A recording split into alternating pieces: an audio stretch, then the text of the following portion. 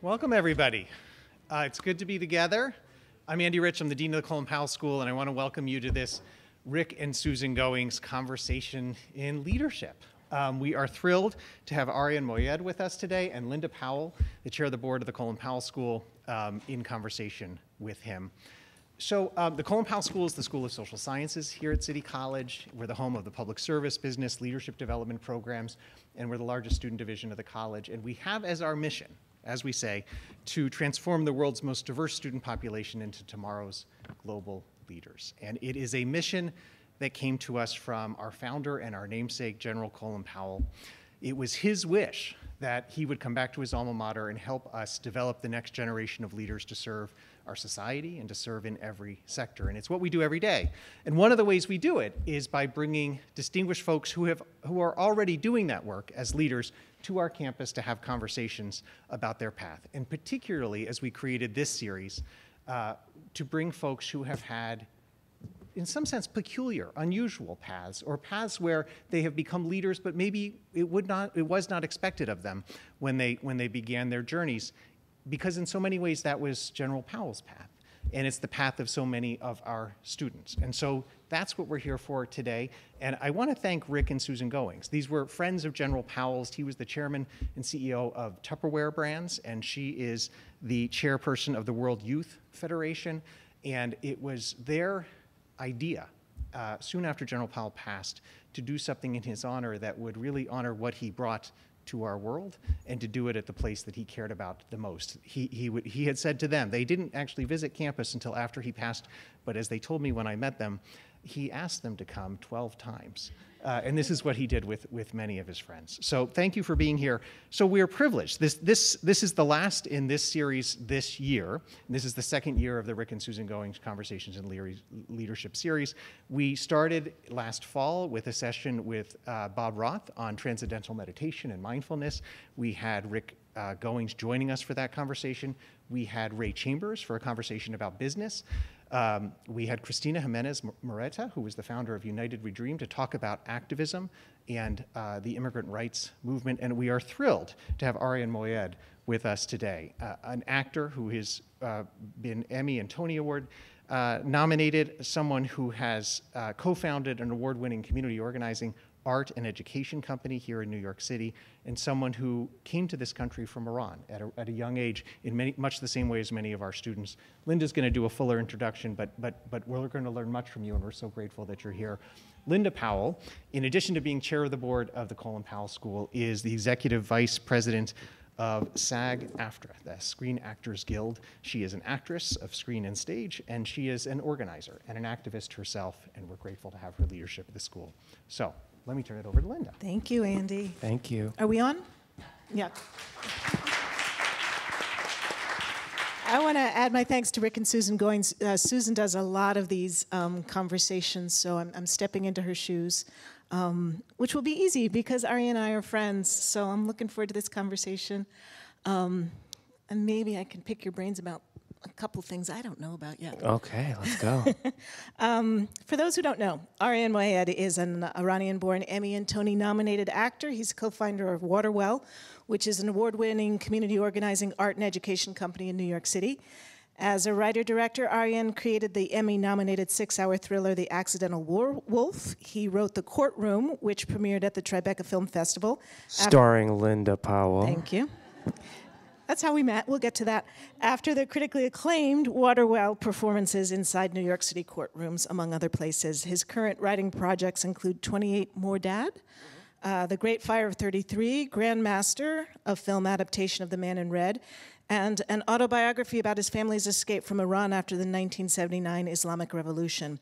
On stage, he's been seen in A Doll's House, for which he was nominated for a Tony, The Humans, for which he we won. I did not get nominated, but the, the show won. Which won, won. a Drama thank you, Desk thank Award. you. Uh, Bengal Tiger at the Baghdad Zoo, for which he was nominated for a Tony. Nominated, also uh, lost. Just keep on bringing up the things I lost. Uh, Guards at the Taj, for which he won, won an Obie Award. Uh, Love Life, for which he won an We N- nominated, nominated, NAACP nomination. TV and film, you've seen him in Spider-Man: No Way Home, Inventing Anna, Ms. Marvel, You Hurt My Feelings, House of Spoils, which is upcoming on Amazon, and a little thing called Succession, for which he received an Emmy nomination. Always a silly, isn't bridesmaid. it? no, it doesn't matter to me. I was thinking about this the other day, that like, oh, you get upset when you don't win. I was like, win, We- like getting nominated is the win. I mean, it really the chance. Especially for something like like performing, like to Yeah. work a piece of art where it's like how is one thing better than another, or one. It's luck to be in the Total thing luck. that even gets the nomination. And for many immigrants in this room or people that might not know, I mean, the idea that being born in Iran, escaping, coming here and getting nominated is the win. That's the win. like the it's oh, I've, I've won like 50 times over. So right. I'm cool. I'd like to see you win, though. okay, fine. I want to thank Linda Powell. That's the first thing I want to say. Please do. Arian and I met when he asked me to be a part of the courtroom, which was a show that his company Waterwell was doing, and um, we did it. It was a, a transcript of an immigration case, um, and you were drawn to that because of your own story and because of things that were going on in the country, and I want you to talk a little bit about coming here as a young person, starting Waterwell, and the journey to the type of works that Waterwell um, ended up doing and the mission that you guys have. Because when I when I called Ari and I said I want you to do conversations in leadership, were you surprised? Are, are people constantly calling you a leader now? Because like like Andy said, it's it's we come to this in peculiar ways. I know I've come sideways into the places I find myself now.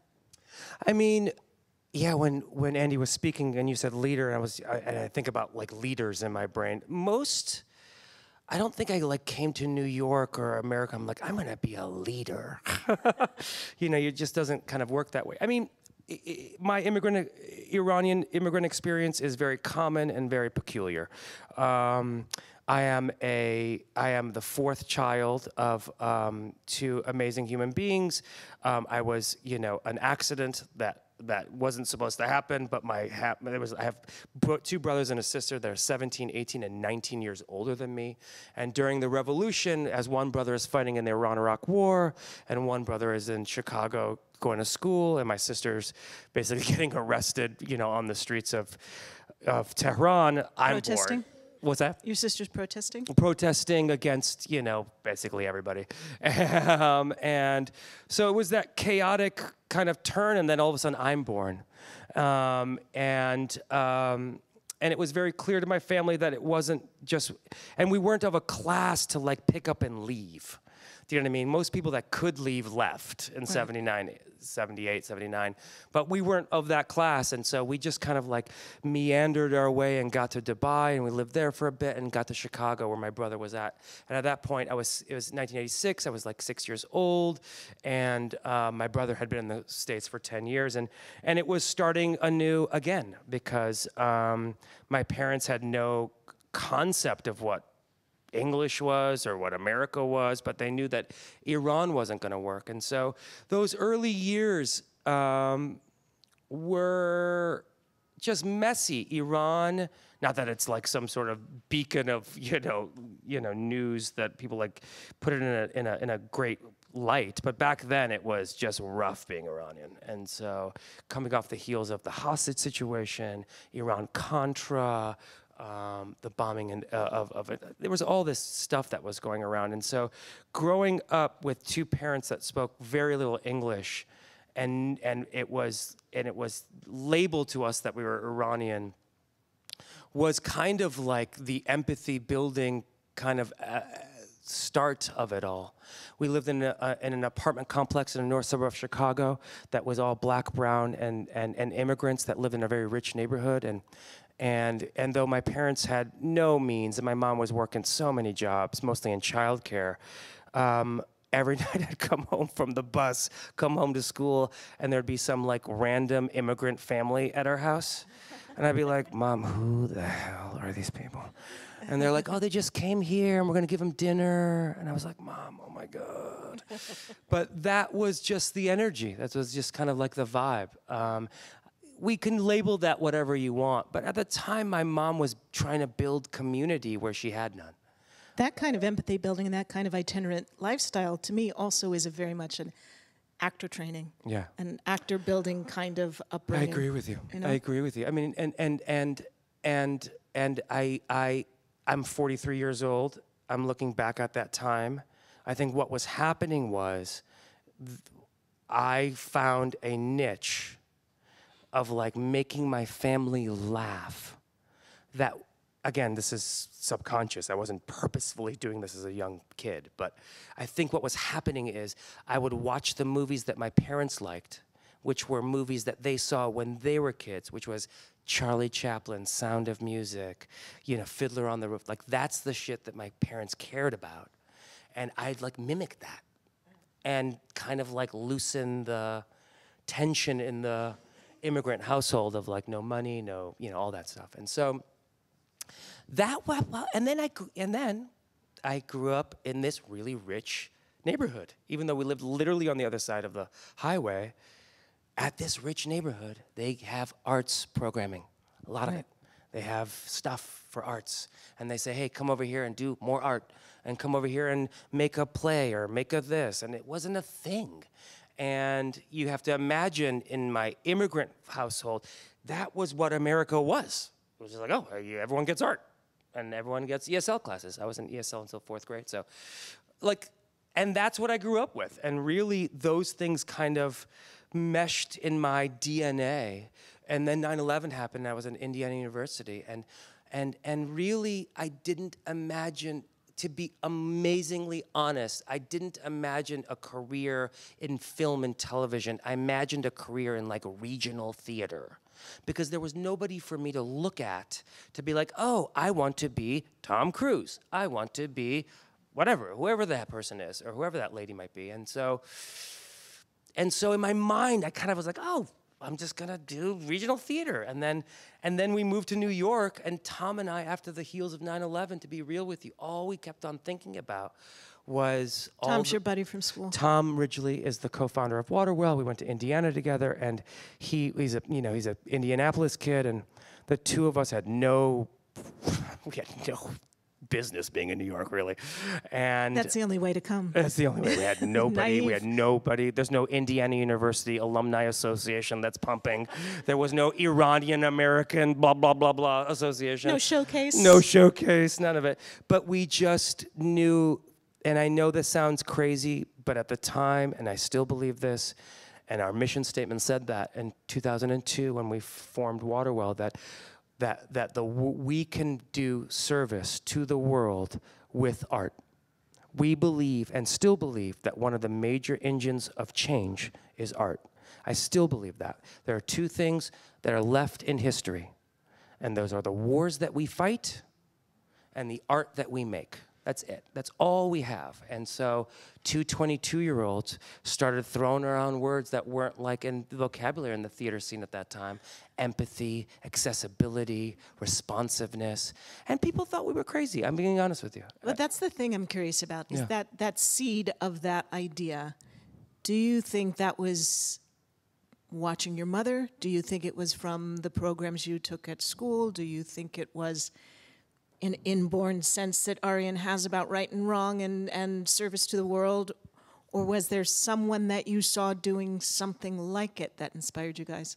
All of that i think really to be you know it's a mix of all those things. You know again when you're 22 some maybe some 22 year olds you- One or you- two? one or two you don't know what is going on to be honest with you. You're just kind of like winging it. But um, and this is which is beautiful which is the most beautiful thing about the, that time. And at that time period i guess the training that we had the books we were reading the experiences that we had were really leaning towards art as a change tool I, I remember, I remember, I remember reading. Um, you know, I read in my freshman year, I read Alex Haley's, you know, Malcolm X biography. And I'm reading this thing and I'm feeling a lot of things about this. And as at the end of this book, I'm seeing that he's realizing more and more things about what it means to be a human being on top of everything else. And I just was gravitated towards that. We gravitated to the teachings of Gandhi and we just read those things. But then we also loved Julie Taymor. And we read The Empty Space with Peter Brook's Empty Space. And Empty Space is not about how to become a famous actor, it's about a rug is all you need to make art. And then we were reading Peter Brook um, was doing uh, theater in Iran in 1974 about Iranian art. I was just like, oh my God, mind alter. And, and that was the engine. And I want to say 9 11 was a big engine. How so? Because all of a sudden it became very clear that I was Iranian. Do you know what I mean? Like immediately it's like, oh, you are on that team. And the other thing is, most people have no clue what it means to be Iranian or Middle Eastern. I don't know anything about farming. I don't know anything about uh, a lot of things. But if you don't give them the art to understand what it means to be a farmer or Iranian and only have the, the, the, the, the preconceived notions that we've seen, then all we're going to get is that. And, and, and at that time period, we Tom and I, and myself included, were really adamant that, like, oh my God, they don't realize that the majority of Middle Easterners are just regular, boring people that are trying to put food on a table and trying to get from place A to place B and trying to have a little bit of a society. And all of a sudden, all of this stuff was going to unleash, and which it did, and and and that we're kind of like in right now. And and and our to us was the tool that we had to tell people we are citizens and human beings first. Um, and I still believe that. That's where I was going to go. Yeah. It's, it's, it sounds like a very 22 year old, Yeah. idealistic, let's do this. And, you know, everybody in college is a liberal. By the time you get your 40, you're a Republican. Um, how do you hold on to believing that things are possible as a, as a leader of your company, as an artist in the world, um, when you and I both know how often you, you are exposed to the opposite, or how often your company runs into issues where you're not getting the feedback you want, you're not getting the funding you need, you have to fight to keep your staff paid. How do you find the resources to have that, you know, beginner's mind stay alive and have that? Um, there's something idealistic about the mission, and it, there has to be idealism in the world, or else we're doomed. How do you keep it alive for yourself and for your institution? Booze. I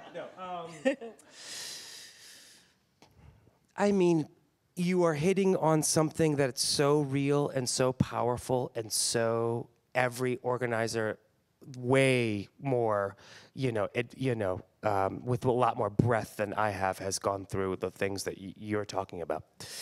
Um, I have I have to believe two things that this that the, the the the change that we want to make is not a light switch that's going to turn on and off. It's a fader that's going one level up. So my goal is not to by the end of it uh, you know, when I'm dead and buried, or you know, is is not to turn on the light switch. i stop believing in that. I don't believe that that is how the wheels of progress do move slowly. They just do, and so that's one portion of it. And the other is, you know, it's happening now. There's so much shit that's happening at Waterwell right now. That's like really kind of like a sizable moment for a 20-year organization, you know, and and and and the community brings us together the craft brings us together um, we can call it idealism but the mission brings us together and and and we have to believe in those things otherwise not to say that we're like so dogged it's like this is the only way that this is going to have to happen you have to adapt and move and move forward you know we used to as 22 year olds be like we're going to change the world but like those were those words were lofty and big, but those are not the exact tools that we need anymore. We don't need to change the world. Like I said, it needs to be a fader. So we are always adapting and moving, but the obstacles are tough. Waterwell has a massive education program in um, New York City. Um, uh, we run a, a DOE school called the Professional Performing Arts School on 13th Street. We have 240 students. One of our students, uh, one of our, um, someone that's here, uh, their daughter has gone to our school, and and we have 250 kids a year. We teach this thing called the Artist as Citizen. It's grades six through seven. It's completely free. I can talk about that all day.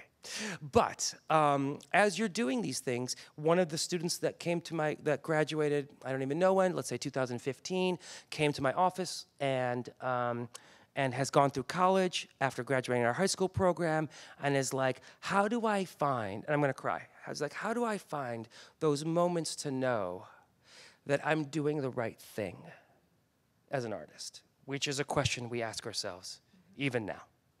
How do I know that I'm doing the right thing? How do I know that I'm, you know, moving and I should be doing this? And sadly, there is no answer to that because we because that question never ends. We know this because we work with famous people. Yeah. who are famous They're people. asking the same questions. They're like, how do I get is," out? Know? or yeah, exactly. And and the answer to that question is community. It is craft. It is the love of others. It's hard work. And and and and if you work hard and, and you go after those things and you and, and, and I feel that you feel that those whatever the path is, it will work out because it's whatever it's going to be a famous actor or like a producer. Um, and I can't say that to uh, it was a he. I can't say that to Sam. And, and but at the same time, I know that we have to surround ourselves and move past these things. That's the first part. And the second part is a selfish thing I just want to say, is that my family escaped Iran, came to this country with zero dollars had no business understanding. Imagine the grocery store for the first day. Just imagine, just like looking at the grocery store and being like, what do I buy here? Nothing is impossible. Yeah. No, you know, people ask me, how do you have so many, how do you juggle so many things? How much, how do you get all this stuff done? First of all, it's not me. It's a group of people. You know this. It's mm-hmm. not me. The, the, the courtroom is a million amazing human beings. And the second thing is, to be honest, none of this was hard as being an immigrant. It just wasn't. That was harder. And so to me, the word impossible or no is just so weird to me. What's im- you know, I mean, there are roadblocks, there are obstacles. Obviously, we've had them. People will say no. you know, I get it. They but- will? yeah, yeah. but at the same time, we performed the courtroom with Linda's brilliant performance um, at the Thurgood Marshall Courthouse of the Second Circuit Court of Appeals. Everybody you could imagine said, No way that this theater company is performing this show here. Well, I guess so. I guess it can happen. Yeah. you know, we had to meet a lot of people. There was a lot of obstacles along the way, but you know, I think that truth set us free. And so I have a feeling that that, that the impossible is is is just not something that I'm very interested in. You know. And I think, I mean, just going to sidetrack for a second because what you said just resonated with me, and I thought, and I myself am second generation Jamaican parents on one side, Jamaican grandparents on one side who were immigrants and uh, seamstress and a shopkeeper, and two generations removed from slavery on the other side. Look at us, Arian. and I this. know that that resonates for a lot of the students in this room who come from. I, I, I remember when I first got involved with this school, I went to and Mary, and all I had to do was go to school. And sometimes I went to class, and sometimes I didn't. I did a lot of theater, and it was a it was fun. And I hear sometimes the stories of the students here and the, the hurdles they have to go through to make sure they get to class, to make sure that they can afford to be here, to make sure that um, they have enough extra to get on the subway to get to school. Not all of our students, but I mean, we're 80% black and brown, first in their family to go to college. So I think what you're saying is such a good answer to that question for this room, you know? I, I, I, I get energy off of that. I get energy off of that. To me, all of a sudden, we can all accomplish anything now. Because to me, going through that, I can't imagine what it must be like to be a black woman living in this society, to be honest with you. I can't. But imagining getting to this place right here is so powerful to me. It's so inspiring to me. And those stories are the stories that I think are, are the championing stories that art can put out there. And um, I have nothing else to say. I want you to talk. I want you to talk about some of the some of the work that Waterwell's done. Um, you talk a little bit. Of, uh, we've talked about the courtroom, but if you could kind of describe what it was, talk about the Flores stuff, talk about talk about your stuff. Um, I talk a little bit about the education side. If anyone's more interested, please let us know. We can talk for ages about it. That program um, is 13th year right now. The Artist as Citizen is kind of the training that we do. That kind of training tells you that we're going to teach you how to become world class artists through really rigorous arts training, vocal technique, acting, um, all of it, theater history. But we teach you none of that matters unless you better the communities that you care about. And communities is a big word. I don't care what your community is. And I say this because some 17 year old kid doesn't want to talk about immigration. They want to talk about gaming. Cool. Let's talk about gaming. I remember, you know, in the 2000s, there were auditions for Middle Easterners to come in to audition for like some of these gaming, you know, I don't know what the game was, but like these shoot 'em games or whatever, where like Middle Easterners die, and they wanted us to audition for Middle Easterners dying and how we would die in a audition. It's like, okay, so we die differently. so when we get shot, like other words come out or something. So so that community, I said this to this kid. That community can be fixed. that's a community that you can give a shit about. And so that's on the education side. On the production side, yeah, the courtroom in 2018, when there was all that crazy shit was happening on the border, um, I was in Chicago doing a play at Steppenwolf uh, called Guards of the Taj. I was with my mom. My mom came home watching Fox News. She was, um, and, and, and she's crying. And I'm looking at her like, is everything okay? And she goes, oh my God, look at these kids. She, all, all in Farsi. Look at these kids. And I said, it's going to be devastating for them in Farsi. If there's That's when they were separating families? Yeah, separating families. Um, um, and then my mom said, it's going to be, a, it's devastating for the United States.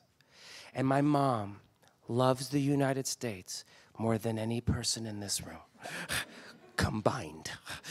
And when my mom says that, I was like, ah. So I called the organization, um, the board chair now, uh, and, and I was like, we need to talk about this. And, and somehow or another, I was interested in reading transcripts of deportation cases. And within, I guess, like three or four weeks, I was reading um, Richard Haynes's um, deportation case of this one woman by the name of Elizabeth Keathley, who came here on a K 1 visa legally, and at the DMV was asked, not if she wanted to register to vote. She shouldn't have been asked that question. She is not a citizen of the United States. But she was asked that question, and because she thought that America is a place where voting matters, she was enthusiastically saying, Yes, I would love to vote. They send her a registration card. They shouldn't have done that. Her husband did not know any better. Was like, I guess they evaluated you and you should vote. So she votes. And at her green card test, when they ask her if you can, did you ever vote? She says yes and they tore up her case, put her in deportation case, and then they deported her. And we had the transcripts for the first trial, that was an immigration court, the transcripts for the second trial, which went to the Seventh Circuit. Seventh Circuit. Uh, Seventh Circuit. Oh my God! If I said this wrong, please don't uh, don't at me, as the kids say. Uh, Seventh Circuit in Chicago, and this very conservative judge in the Second Seventh Circuit uh, overturned it and made precedent and first impressions. We took that store, those transcripts, Lee Sunday Evans, the real kind of like mastermind behind it all, who's the artistic director of Waterwell, she took those transcripts, we dug down, we had some rehearsals, but not many rehearsals because we wanted it to be so raw and we performed them in only courtrooms in New York City. And it was just the transcripts. There was no never, no you know dramatic text. It was just one time we transcript. we because DHS was said like seven times in a row. One time we took it and said Department of Homeland Security just so like for clarity's sake, but nothing other than that. And we edited it down to exactly what it needed to be. We performed them completely free of cost all over New York City, and it became a huge stink, mostly not in the theater community, in the immigration rights community. And I, when I say that the entire immigration rights community, especially immigration court reform, came and saw that show from San Francisco to New York City, I'm telling you, everybody came. And that has led to, I would say, six to 10 separate projects that we've done with immigration folks, including the Flores exhibits, flores-exhibits.org, which are 69 sworn testimonies of children on the border that are just read testimonies that are now video testimonies that you can get online. Law schools are using them on how to take proper testimony. Um, we, during the election time, Waterwell, under Lee's guidance, worked in 18 different um, places all across the city and like perform these on Zoom during the pandemic. Um, we talked about the Flores exhibits. We have worked with, um, we've made, anyway, I can, What's the stuff you did on the Intrepid with? during the 2000s, when Tom and I were kind of like winging it, we were pretty anti war, but our work is not polemic. Our work is not, I will say something about all of our work, including the courtroom. It's not like a liberal show. I don't think that show is liberal. I don't think that show is conservative. Um, but I don't think that show is liberal. And our work doesn't deal with that. I don't, the truth has a way of entering your system and making you complicated, and that's exciting. And that's a Waterwell trait.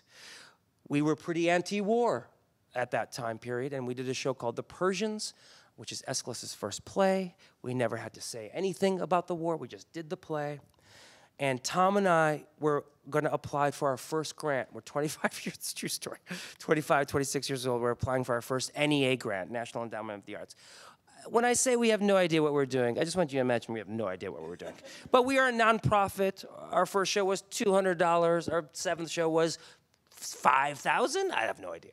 So we applied, but then one day, reading the newspaper, we were re- read that there was this, sta- it was 2006, staggering 29 service men and women were committing suicide a day. And all of a sudden, Tom and I are like, 29, is that right? Does that sound like a cuckoo number? And you start digging in, and that's a real number, 2006. And then the next question is, who are veterans? Who are veterans? And they're black, and they're brown, and they're poor. That's majority. Yes, you have some legacy, but they're black, brown, and poor. Now all of a sudden you're looking at these these, and then we read uh, uh, this this unbelievable. Anyway, I don't want to go too deep into that. We made a commitment at 25, 26 years old that it's not the fault of these black, brown, and poor folks that have to fight this war or fight any wars. We should make all of our shows free for veterans. So we wrote a grant to the NEA saying just that. And guess what? They accepted You it. crazy kids. And then all of a sudden we're like, oh my God, what do we do? and that has led to about 16 or 17 years of really deep relationships with, I would say, a dozen or so veteran organizations in New York City, um, Blue Star families, uh, Gold Star families, and, and, and that relationship led to a lot of different shows and ideas and depth. And we found these old musicals that were commissioned by the War Department in 1944. Um, um, and they were just hear this out just so you can hear this the war department commissioned artists to make four musicals to be performed by active duty servicemen during world war ii to deal with their shock trauma think about this they said let them make theater after they kill some nazis so let them release their trauma the war department those performances were never performed. It took 72 years. We found those. We took out all the racist and sexist shit. We put them on the Intrepid. And we had a cast of 60 people, half of which were veterans. Half of them were dealing with severe PTSD. And for the first time, the Department of Defense got to actually fulfill their mission of making art by servicemen and women 72 years later. I didn't know that story. That's amazing. Yeah, it was. A, I mean, it was huge. so 70 actors on the Intrepid.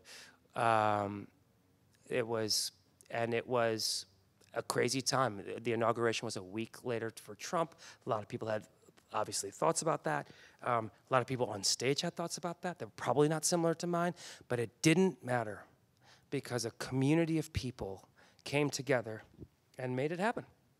So that was the that was called the Blueprint Specials. There's a documentary on American theater that you can watch on it. Um, that you know, I can talk about that. I'm going to open up to questions in a minute. Um, we got about 20 minutes left. I um, let's talk a little bit about your career. Um, I read somewhere that in the very, when you were like a baby actor, you were still a very picky baby actor. yes. Like you had an agent, Annoyingly you were busy telling your agent, "No, I won't do that. I won't Yeah. do this. I won't do that." Um, Yeah. was that about the stereotypes you refused to engage in? Yeah, I mean, 2005, six, that show, again, a lot of the stuff, just to give you an idea of why we teach this kind of like artist citizen work, is that that show, The Persians, that was a small little show at Under St. Mark's. Who anyone knows that it's like a rat-infested, amazing theater on the Lower East Side. Um, moved to an off-Broadway house. I got signed by William Morris, and which is a huge agency for those that might know. I'm 25, 26 years old, and and I kind of made it a priority that I wasn't going to do terrorist roles or victim roles because my family Really cuts it down at that time. well, I didn't work because there's no rules. Um, prior to Succession, I, I don't think I, I could think of one or two jobs where I didn't have an accent. Total, literally. Like I always had an accent. Um, and I said no to those things. And I just thought it would be embarrassing to the to the 1.4 billion Middle Easterners and Muslim, Muslims that are not involved with terrorists, terrorism. And I said, I'm not doing those things. And I will tell you, it was now it's very it feels cool to say that out loud, um, but at the time it felt powerful, it felt strong, it felt isolating. It felt scary. It felt like I was going to have a, a, a, life in the theater, uh, which is fine. Worst things could happen. Worst things could happen. Uh, just no money. Uh, but along the way, I just kept on saying no, and I just kept on saying that it doesn't really matter. And and then I did this show on Broadway called The Bengal Tiger at the Baghdad Zoo, starring myself and Robin Williams. I played an Iraqi translator. Um, and we were the two leads of this show, and and I got nominated first Iranian to get nominated for a Tony Award, and after that show ended. Um, I was emboldened to stick with that path. And to be real with you, I, I, the, I just started giving even less of a shit about what they thought. And to be real, the moment that that happened, I never stopped working. I really yeah. just, I come into those rooms, even if they want me for something that's really, you know, what the, the, the thing that they say is, it's a terrorist, but he's got a heart of gold. Like he's, he, he's doing it for revenge because they killed his family. And then, and then you have to like, and then, and then they, they don't want to just hear no, they really want you. So they're like, no, tell us why, or help us fix it. Or, and then you have to say stuff like, listen, my brother fought in the Iran Iraq war for two years. My first cousin, Hamid, died in that war. I didn't get a chance to really even meet him, I was so young. You know who I don't want dead? Iraqis. Why? Because that's insanity. It's insanity to think that we want to have everyone dead because my father was killed by an American. Bah, bah, bah, we have to realize that not all of our things are based on freaking revenge. It's insanity. If it were, we'd all be dead. There's 1.75 billion Muslims. Come on, leave me alone with that stuff. And and it's hard to say no because Homeland was a huge show that was winning all of the awards. And then all of a sudden you're like, "Oh, yeah, no, I said no for 2 years in a row." and then Argo wins an Oscar. You're like, "Oh my god. Oh my god." Yeah, those things happen. But I would say history bends like a fader towards the truth. And and and and I, I don't mean to dog anyone that's done those things. I have no, you know, I have so many Middle Eastern friends that are trying to, you know, they're, they're, they're, they're, they're, they're trying to make their coin. They're trying to make their mail. Like, I get it. Like, do whatever you need to do to make your money. I'm not judging you. But for me, it was too far. And, and, and I'm going to be real. If I did say yes to those things and played a bunch of terrorists, I'd never be on Succession. Yeah. You, there, there'd be no chance I'd even get an audition because they'd be like, even if they came in and be like, this guy's a great actor, he does mostly terrorists. It's like, all right, well, we're in boardrooms. So again, I'm not trying to, you know, it's that's how the I mean, that's how it works. Um, yeah. So so it's even yeah. So that pickiness led to, you know, some of these things happening, and and it's hard because along the way, you were like, holy shit, did I make a mistake? Did I make an error? And I have kids. Like, like, am I not putting bread on the table because of these things? But again, I, just think that there's th- that that that all of the stuff that I've said. Also, I don't want my mom to see me saying that's crazy. Yeah, it's crazy. My, my parents have, have done so much, you know. We talk in the union a lot about um, trying to increase representation, trying to get more diversity in storytelling. Um, it's a fader. And, and, and while there is a lot more um, employment, I'm not sure there's as much diversity of representation in the storytelling as there could be. You're right. Are you finding that um, there's, I'm sure because of the success you had, people are now looking for you. Sure, You know, people yeah. are coming to you with stuff, and they, it's not necessarily a Middle Eastern role, it's a role for Arian. Yeah. But what do you think, looking at the landscape, are things getting better from when you were mainly turning down things? I mean, the fader is a slow-moving fader. um, are they getting better? I have to believe that they are. Are they? Are they anywhere near where they need to be? Not even close. The reality is is that is systemically for whatever industry that you're in, it has to start with leadership. It has to start with some of us having not just being represented on screen, but being represented in the executive boardroom. And to me, um, that those are the next steps. And and then to, you know, again, I know nothing about farming. Uh, let me demystify one story about like um, a, a, a- an episodic show, an episodic show like a law show, whatever that law show is to you. Every year they have to do 22 episodes, and every year there's 10 writers, and every year at the beginning of the year they're looking at the newspapers and they're like, "There's going to be a story on this, this, this, and this," and then all of a sudden you're going to get three stories, I'm going to get three stories, you're going to get three stories, and we're going to have to make these three stories. Now, one of these three stories, I'm going to go back to farming. I have is farming, which I know nothing about. I know nothing about farming. So what am I going to do? I, I want to keep my job. I'm going to go and I'm going to do some Googling on farming. I might call someone that has like a garden and I might like ask a couple of things about like seeds and like, I'm just being real, like this. And then all of a sudden, two weeks later, my script is due. And then I'm going to put that script and I'm going to put that script out. And then that script is going into production. And then three weeks later, we're shooting or whatever, timeline, whatever.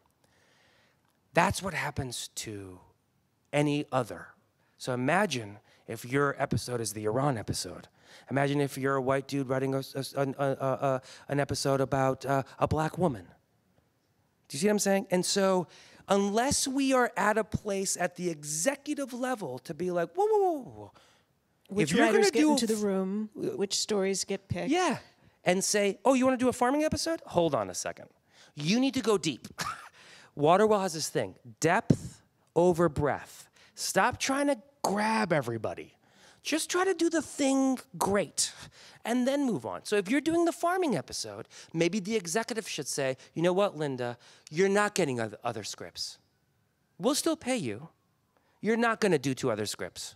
You're going to do the farming episode. And you I need you to get this right. So give this to me in 3 months.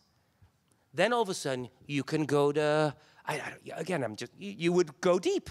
You uh, your task would be to go deep. And and and that won't happen unless there is a big systemic change at the top. We did Waterwell did a Hamlet that was set in 1917 Tehran. It was both in English and in Farsi. And um, at that time period in Iran in 1917, all the British were coming in and they wanted to, you know, do their thing. And um, as they're doing their thing, a lot of people are like, oh, well, maybe if we make English the certain language, maybe we'll get more British money. Right? And so we did this play where Hamlet is actually trying to Americanize or whatever, uh, you know, be more British. And as you're doing this and you're going down this thing, you then and then the ghost comes in, the ghost only speaks in Farsi, and then he goes back and only speaks in Farsi. And then you see people see the show that know nothing about Iran, zero. And they say to us, every person in America should see this play because I don't think they know that Iranians have this type of history. And the reason is, is not that it's just prejudice and ignorant, it's just that no one is telling these stories. The only stories that you're seeing are the stories that are where, you know, a terrorist or we're about to be a terrorist or we're a terrorist with a heart of gold, you know. And unless we go all the way up there and say, no, stop, stop, stop, stop, you know. And that is, that is a fader. A fader. Unless someone here wants to give Waterwell $50 million. We'll do all those stories. $50 million. Um, any questions? Questions, anybody? Because we can keep talking. Um, over here and then over here after. Hi, my name is Peter Goodman. Hey, Peter. I'm also an IU graduate. I got my master's at IU, and I Let's go Hoosiers. yes, um, I was sitting with some friends, some of whom are actors, and they were bemoaning the fact that as they get older, they still can't make a living in the theater. They get hired all the time, they're working all the time, but they simply can't make a living. And they were wondering at what point do they simply find a career where they could support their family. Did you ever have the same challenges? yes. Um, yeah, I mean, the answer to your question is a big one. I think it's a it's it's we we don't value the arts in this country. We don't value people that do the arts in this country. We don't help people. We think of them as um, outsiders or people that are trying to like do some sort of like weird narrative. Um, the answer to your question is um, those zeros that you're talking about are always the case. Meaning, I have friends of mine that you would imagine are gajillionaires, famous Oscar nominated, winning, whoever, that are also dealing with money problems because we don't value the arts in this country. And so to answer your question, um, uh, I, I there is no answer to your question because there, there's no way I can tell any artist It's a constant gut check. the constant gut check. That being said, and I say this as, as, as, as, as, and I mean this, I still think that the value that we bring to society is something that is really meaningful. I read this, or maybe saw this clip that Ethan Hawke talked about, where, where like, why does art matter? Well, we only use art, remember, wars and art, we only use art in these most tragic of situations. We read poetry at a memorial.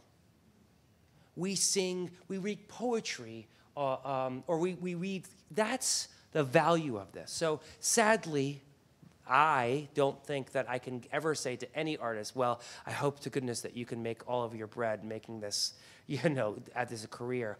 But the fulfillment, the spiritual fulfillment is the reason why we come back. Linda and I just did a play. We just were on, you know, we've done plays all our whole lives. Plays don't make money.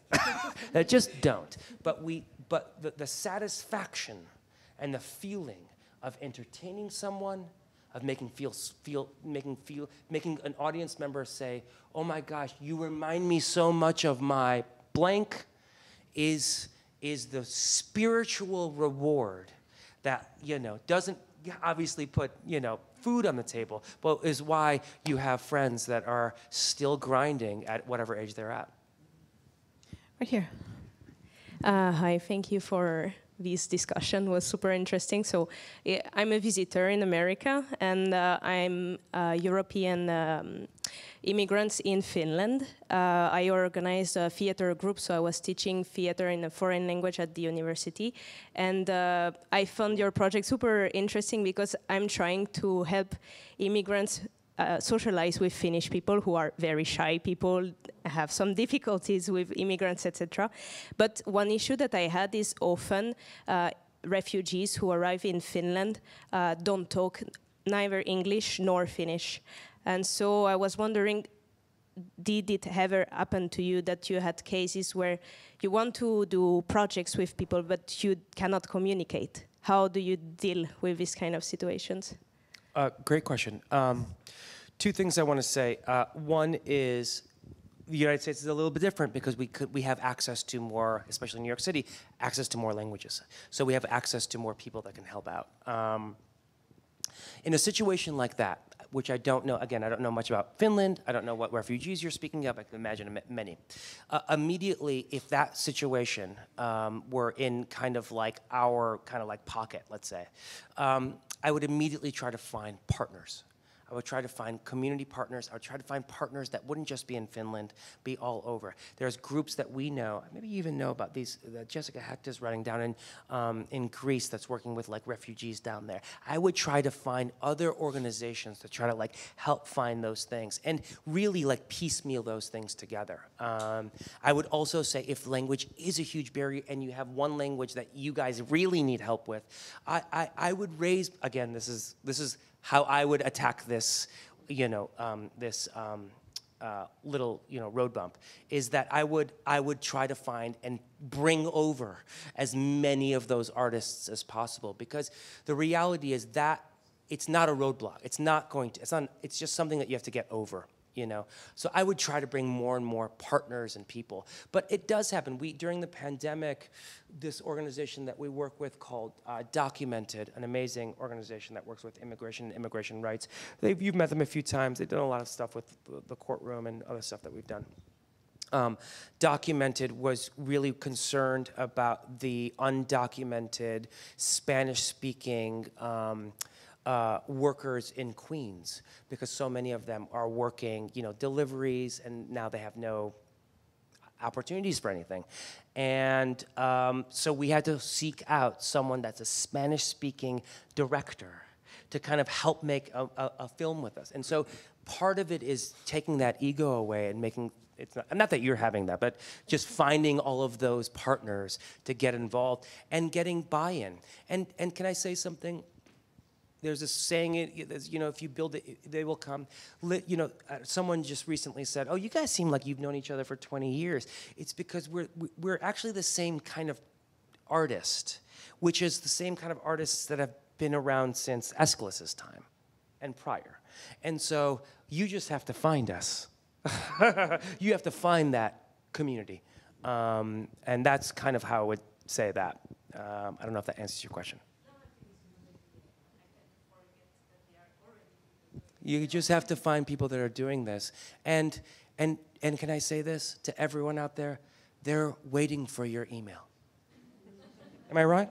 They are waiting for you to call them. When, when, when, and I'll tell you, immigration rights, veteran rights, labor rights.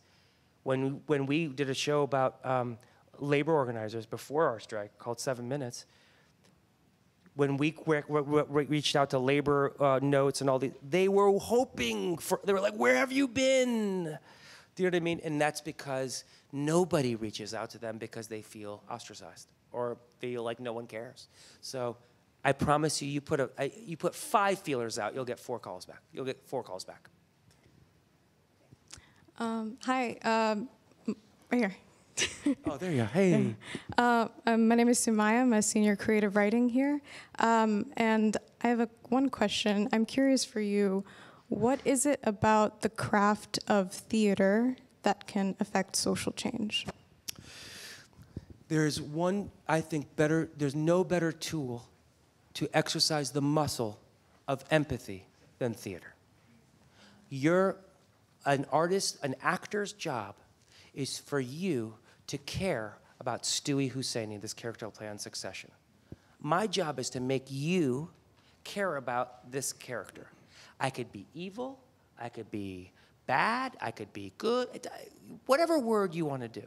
And that transference of empathy between an audience, that unspoken energy between an audience and a performer, is the tool of social change right there. Because if less we don't hear about stories from every one of our stories and understand what it's like, we're never going to get further. We're only just going to go towards the war and less to the art. So, someone asked, like, well, what is the Artist Citizen training?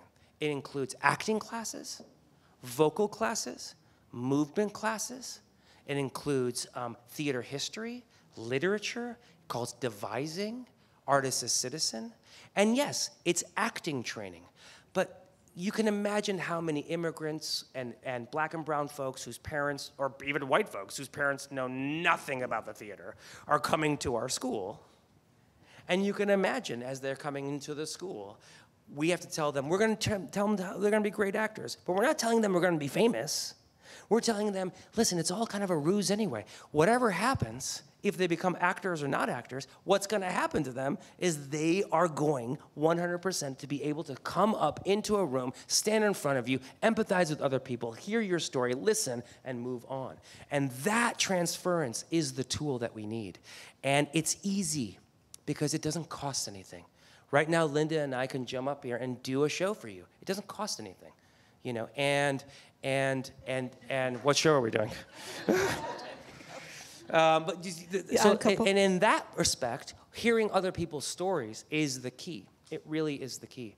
And you know, I did this show recently on Broadway called A Doll's House. Some people just saw it here, and I play this character in A Doll's House called Torvald. I don't know if anyone knows this play, but Torvald is considered in our community like one of the evil men on earth.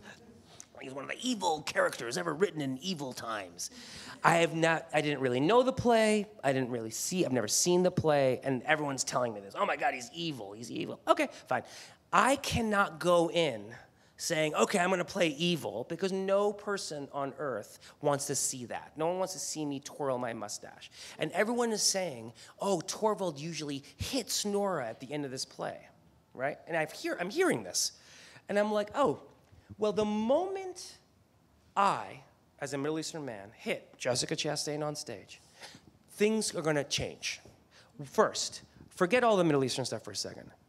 Every man in the room is going to look at that and say, oh, well, I'm not him. I don't hit my wife. Hopefully. Do you know what I mean? They're going to say that. Now, all of a sudden, every man in that room is relieved of that tension, and they say, Well, that's not me, forget it.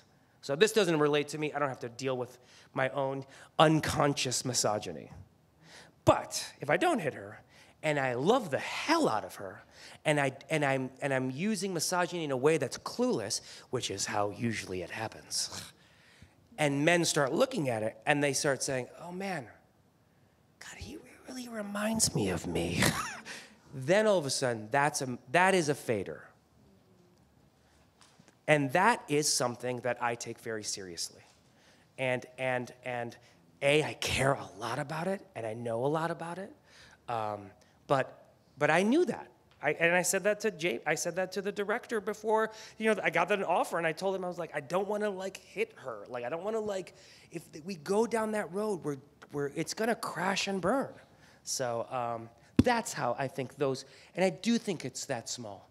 Stewy Hosseini, I, and, and, and Jesse, I, we wanted him to be an Iranian name. I wanted it to be Iranian. I even gave him like three options how he could be Iranian. And I said, I never want to talk about it. I never want to talk about this on the show. And he's like, we shouldn't. Because right now there are so many Iranians that are owning Silicon Valley that you don't know about. And, and unless you see me as a person at that level, that, then you're never, so it's small stuff. So I think, I, I hope that answers your question. Um, one more, because we have a hard out. It's 4:30 now. Okay, two more. He's he's got he's he's getting picked up to go work. yeah. We, he shoved us in today, and we, Aw, we don't say that. appreciate it. So okay, go. Um, hi, my name is Salorm. Um, so I'm paraphrasing here, but you mentioned how um, it's um, it's it has to be somebody's job to tell a story, um, and I thought about um, Anthony Bourdain and his episode in Iran. Um, and it's like it was during a time where like there was like a lot of tensions between um, like Washington and Tehran, um, and he goes um, to Iran, and it's like a completely like different atmosphere than like what um, what was being portrayed in the news. So my question is, um, you can tell a story, but how do you make people listen? How do you get people to listen to this story? Great question. Um, great question. The, the reality is, Anthony Bourdain's show, and I know the episode, every Iranian in this room knows that episode, um, that he was a master of that show. He had his 10,000 hours. He knew how to make food. He knew how to like tell a story in that way. And because of that, and because of his genius of that show, we watched that show. Again, it, it's not an on off switch, it's a fader. So, the more of those stories, more yeses to those stories, more people that have excelled in those stories to tell those stories, more, um, if I were an executive, more marketing dollars to put that story out there. Um, again, it's a, you know, it's big. Um, but the reality is, everybody has a story here that's really powerful, meaningful, and I'm sure will bring us all to tears. And we would love to all of a sudden join on your GoFundMe or your families. I'm sure of it. But it takes small depth, go in. You saw that episode. You know, sharing that episode is a part of the movement. And I know we want it to be, why isn't this Beyonce level reach? But again, it takes time. It takes a little bit of movement. And so my hope is that the opposite doesn't happen. Oh, no one wants to see those stories. So why are we doing those stories? This happens in the theater all the time. What happens is every it just happened after you know and with you know all the shit that would happen, went down. They all of a sudden there was a flush of like stories that we're going to tell these black and brown stories on broadway and off broadway. And a few of them didn't weren't su- successful. Just like all broadway shows by the way. But now all of a sudden it's like well we can't do that anymore. Because Yeah. The minute I saw that first season after the pandemic, I thought, oh, well, they're setting us up. Because nobody's going to come to the now they're like the well you saw see, it didn't any work. money." it didn't work. It's like yo dude half of your shows don't work. What are you talking about? So the the hope is is that we don't lose steam because the story hasn't reached the level that we all want it to again the beyonce level that we want it to reach at. Um, it's just to keep going forward. One more? All right, one more. Hi, this has been wonderful. Um, I'm, I'm an actress and a writer, and um, years ago, when I was teaching acting in public housing, I came and overheard a conversation where one of the um, teachers had gone out to get pizza for the end of the semester, and they pulled one of those I'll bump into you and then get angry and shot him dead. I did not know the young man, I just heard the story, and it was so visceral. A piece came out of it. Um, it's all in rhyme, and um, I've had it for a while, and I kept saying I can't sit on it. So um, it's a piece, of course, about nonviolence and, and, and guns. And I wanted to ask your advice about places that I could go to to present the piece or even funding. At this particular time, there's only four actors. Okay, and I made myself one so I don't have to pay myself. you should get paid but um, so at this point, I've put some monies away to to say, okay, I'll produce it for a while. But I really, I really, it's in in the the the. Um, the way it's written is extremely unusual, okay? And it grabs everyone who's read it. What advice do you have for me in terms of seeking money, number one, um, but most importantly, of venues? That's what I'm looking. I'm going online and whatever, Yeah. but I, yeah. uh, I hear uh, two things I want to say to that. The answer to your question, FYI, we had a development meeting yesterday where we were asking the same questions of like, where do we get money for this show? Um, so, so know that the, the hunt is everywhere.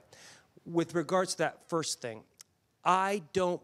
I'm standing up here. Maybe I'm saying the word I a lot. Maybe me. I hope I'm not. But if I am, you should remove that immediately. I am one human being in an organization that really is doing a, the vast majority of this work. I say that to say that community is a thing that we have lost sight of. How do you want to make that play happen? You, I would immediately suggest who are the partners, actors, directors, community organizers, Brady Center, um, um, moms. You know, I, am I'm sorry, I don't remember all of the, you know, but all of the um, Everytown. Who are the organizations that would actually benefit from those things? And to have a piece of art, and I would go to them immediately. After having a group of people that are in, that are like invested in this, When I say that, that's very important because I have no idea about your piece or you or anything. And I mean, no, but I say this a lot because sometimes I hear, like, well, I'm doing it either way. Well, amazing.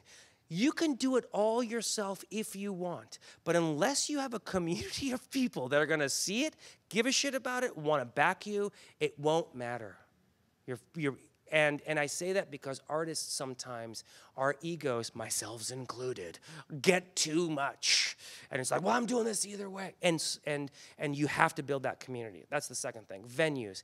We are living in a world right now where venues, especially after the pandemic, and, and as a theater producer here in the city that knows Broadway very well, knows the ins and outs of all these things, venue is so hard. I, I say this to everyone in this room. We have to remove the idea that theater has to be done in theater with lights and all this. It could be done right here. It should be done right here. We did the courtroom Everywhere. everywhere.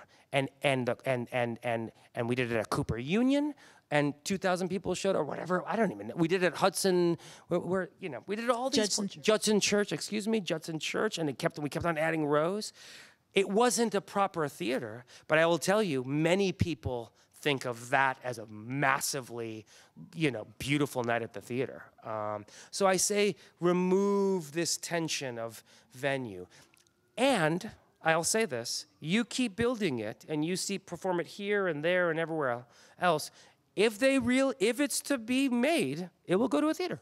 How? Because eventually someone will be like, let me put this in the theater. That's just just just as simple as that. Really, it's as simple as that. Um, and I don't mean to cop out and not give you like direct answers, um, but the reality is that's kind of how this engine moves. Arian, thank you. Love you. Thank you for saying yes. Thank you for making time. Oh, come on. Thank you guys for being here. Thana lot. Thank you all. Thank you, thank you, thank you for asking this.